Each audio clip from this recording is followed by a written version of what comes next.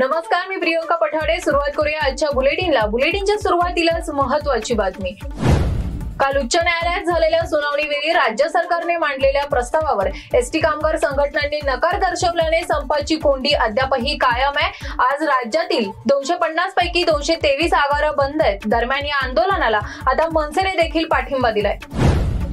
ST कर्मचाऱ्यांच्या संपामुळे राज्यभरातील एसटीची वाहतूक ठप्प झाली आहे. संपावर तोडगा काढण्यासाठी राज्य सरकारनं कर्मचाऱ्यांच्या मागण्यांबाबत समिती स्थापन करण्याचा निर्णय घेतलाय. दुपारपर्यंत तसा अध्यादेश काढण्यात येईल अशी माहिती सरकारच्या वतीनं कोर्टात देण्यात आली होती. तर दुसरीकडे सरकारचा लिखित आदेश वाचल्याशिवाय संप मागे घेणार नाही असा पवित्रा कर्मचारी संघटनांनी घेतलाय.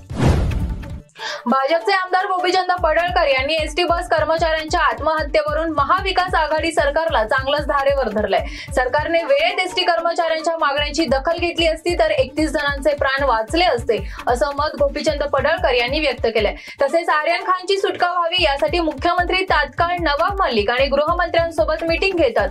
पण मराठी एसटी कर्मचाऱ्यांसाठी त्यांना चर्चा करायला ही वेळ नाही असा गंभीर आरोपही पडळकर यांनी केलाय. कार्डिलिया क्रूज प्रकरणी एनसीबीच्या तपासाबाबत पथकाचे प्रमुख ज्ञानेश्वर सिंग यांनी आज माहिती दिली आहे. त्यांच्या नेतृत्वाखालील पथकानं आज लोअर परेल आणि क्रूज टर्मिनल इथे जाऊन पाहणी केली. प्रभाकर साईल यांनी केलेल्या आरोपांनुसार या प्रकरणात ज्या ठिकाणी खंडणीची बोलणी झाली असा संशय त्या ठिकाणी दक्षता पथक आज पोहोचलंय. शेतकरी आंदोलनावरून मेघालयाचे राज्यपाल सत्यपाल मलिक यांनी पुन्हा एकदा मोदी सरकारवर निशाणा साधलाय. सहाशे शेतकरी शहीद झाल्यानंतरही दिल्लीचे नेते लोकसभेत प्रस्ताव मंजूर करू शकले नाहीत अशा शब्दात मलिक यांनी केंद्र सरकारवर टीका केली आहे तर छोटी घटना घडली की शोक संदेश देणारे शेतकऱ्यांच्या मुद्द्यावर गप्प का असा सवालही त्यांनी उपस्थित केलाय. तसंच शेतकरी आंदोलनासारखं मोठं आंदोलन देशात झालं नाही असंही मल्लिक म्हणालेत. शनिवारी सायंकाळी पाकिस्तानी नौसैनिकांनी गुजरातमधील द्वारका येथील सागरी भागात भारतीय मच्छीमारांवर गोळीबार केला होता. या घटनेत मूळच्या पालघरच्या मच्छीमाराचा मृत्यू झाला होता. यानंतर भारतातून नाराजी आणि टीका करण्यात आली होती. आता गुजरातमधील नवी बंदर पोलिसांनी पाकिस्तानच्या सागरी सुरक्षा एजन्सी विरुद्ध गुन्हा दाखल केलाय.